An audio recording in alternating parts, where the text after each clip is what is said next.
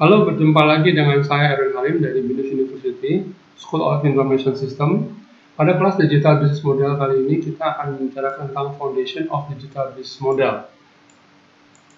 Uh, yang diharapkan dari peserta yang mengikuti kelas ini adalah peserta dapat mengerti tentang bagaimana membangun sebuah digital business model, dan kedua peserta dapat mengerti tentang pentingnya digital business model. Nah, di kelas yang berikutnya itu eh, bagian kedua ya dari kelas digital business model ini eh, tentang business model konsep ya. Eh, kita tetap menggunakan buku digital business model ya. Eh, kita membicarakan tentang riset-riset yang berhubungan dengan business model ya. Uh, ternyata kalau diperhatikan ya dalam membangun sebuah bisnis model itu uh, banyak sekali riset yang berhubungan ya. Jadi sebelumnya itu orang nggak nggak membuat sebuah bisnis model itu uh, cuma dengan konsep-konsep aja tapi mereka melakukan riset ya. Risetnya ini berhubungan dengan IT ya organisasi teori dan juga strategi organisasi ya. Nah tentunya bisnis model yang kita bicarakan di sini karena digital business model atau bisnis model untuk perusahaan digital ya tentunya berhubungan dengan manajemen dari information system juga dengan uh, information technology ya yang merupakan basis utama dalam pendekatan membuat bisnis model. Nah, ini ada sebuah uh, gambar ya. Uh, waktu itu dikenal dengan bisnis informatics ya tahun 75 sampai tahun 95 ya. Ini kalau kita lihat ini sejarahnya ya. Dari tahun 75 sampai 95 kemudian tahun 75 ini dibangun ya eh, kata-kata uh, atau digunakan kata-kata bisnis model ya. Lalu ada riset-riset sebelumnya tahun 98 tahun 2000 ya tahun 2003 ini nah kemudian ini uh, berikutnya kalau kita nih pendekatan dari segi organisasi ya. Ini juga banyak nih risetnya ya kalau kita lihat nih. Nah ini dari tahun 1911 dan 1911 ya 79, 95, 2000. Nah, terakhir adalah pendekatan secara strategik. Nah, dari sisi inovasi, kemudian dari segi konsepnya, ya ini juga dari segi strategik. Jadi uh, sampailah kita mengenal konsep bisnis model. Jadi di dunia itu bisnis model itu bukan bukan hanya ditulis oleh buku ini ya, Wits ya, tapi juga Oswald itu juga terkenal ya banyak sekali bisnis model di dunia ada saya pernah baca sebuah literatur itu sekitar 30-an ya, yang di, pernah dipublikasi. Mungkin ada lebih ya. Karena kalau kita dari tahun-tahun yang sebelumnya pasti ada konsep-konsep yang tapi yang yang pernah dibukukan oleh orang itu ada 30 lebih. Ya. Nah, cuma banyak yang sedikit populer gitu, lebih populer dari yang lain. Banyak digunakan. Nah, kalau kita lihat uh, konsep dari bisnis model ini adalah melakukan konvergensi ya jadi pendekatan atau penilaian secara konvergens dari konsep-konsep yang ada itu ya sampai kita uh, terima yang saat ini. Nah, masalahnya ya ini um, di dalam semua area bisnis itu nggak selalu sama, ya nggak selalu sama sehingga konsep dari bisnis model ini kadang-kadang kalau kita temukan dengan definisi-definisi berbeda. Jadi nggak ada konsep yang saklek gitu ya, yang pasti di sana. Jadi di sini kalau kita temukan, kita akan menemukan uh, banyak sekali definisinya yang meskipun secara konseptual uh, mirip sekali, tapi dengan berbagai macam bahasa atau definisi yang sedikit berbeda. Oke. Ya, nah ini uh, development dari business model konsep ya Nah, dari tahun 50 sampai 2010 tadi kita sudah bicarakan berkali-kali ya tentang bagaimana model sebenarnya sudah dimulai dari dulu ya uh, di uh, konstruksi ya di dalam bentuk e-bisnis ya.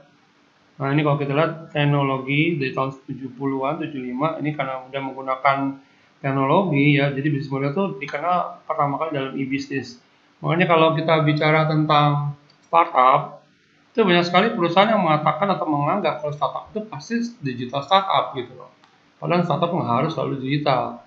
Karena konsep dari uh, penggunaan teknologi itu dari dulu udah digunakan ya. Nah, kemudian nih tadi kita sudah sampaikan juga, sudah bicarakan pendekatan secara organisasi, secara strategik. Strategik ini yang paling terakhir ya. Oke.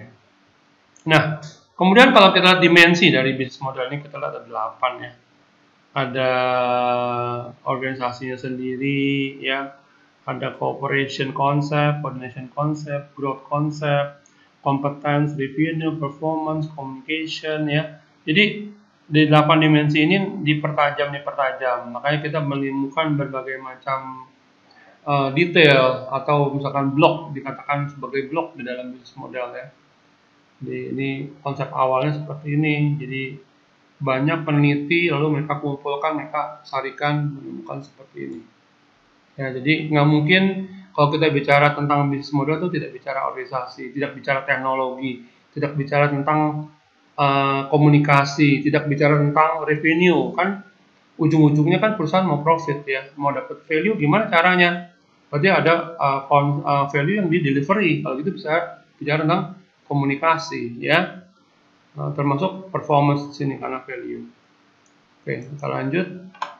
Nah, kalau dari komponen tadi saya sudah sampaikan ada beberapa komponen misalkan cost menggunakan 9 ya nah, komponen macam-macam uh, ada taksonominya ada tadi sudah kita bicarakan konseptual model kemudian metode dan toolsnya ada faktor-faktor adopsinya karena sebuah bisnis model itu nggak bisa langsung diterapkan kalau nggak diadopsi kemudian ada evaluasinya ada metode perubahannya bagaimana ya dan tentunya definisi dari bisnis model nah ini kalau kita kumpulkan secara terminologi atau konsep ya, secara struktur dan secara proses manajemen.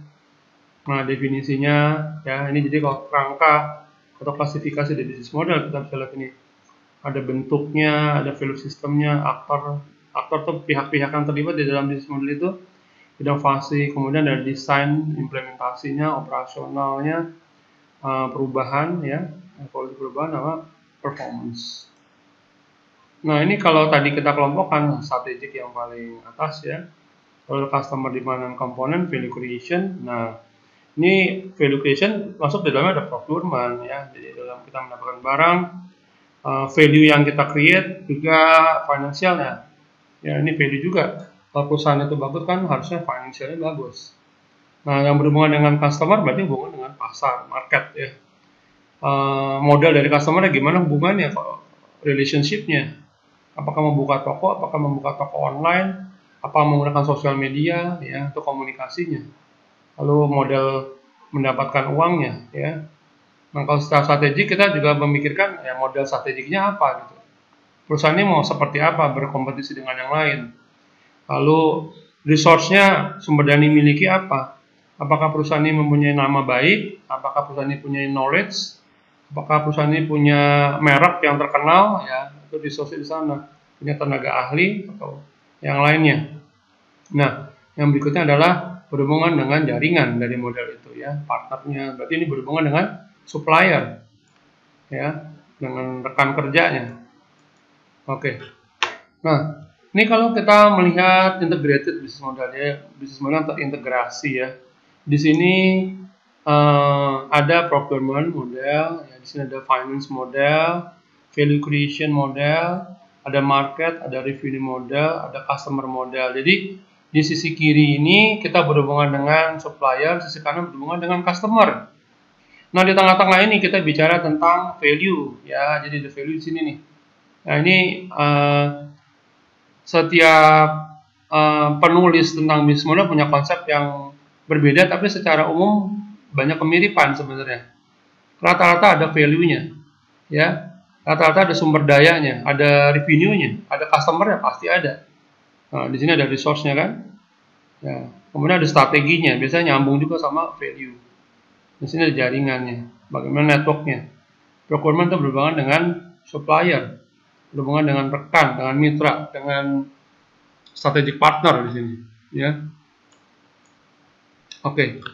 Nah, kalau kita lihat ini level dan goals ya. Jadi uh, skala industri yang paling atas kalau di bawah skala company ya uh, company itu kalau ber uh, company ABC gitu ya berkumpul kita pisah-pisahkan misalkan jadi produk bisnis model 1, model 2, model 3 ya, 4 nah, dan seterusnya. Ini perusahaan B, ini perusahaan A begitu ya. Nah, masing-masing perusahaan itu juga punya level unit bisnisnya yang lebih lebih komprehensif. Ya, mungkin satu bisnis unit model itu memegang beberapa uh, bagian gitu ya. Nanti sampai level corporate dan level industri. Ya.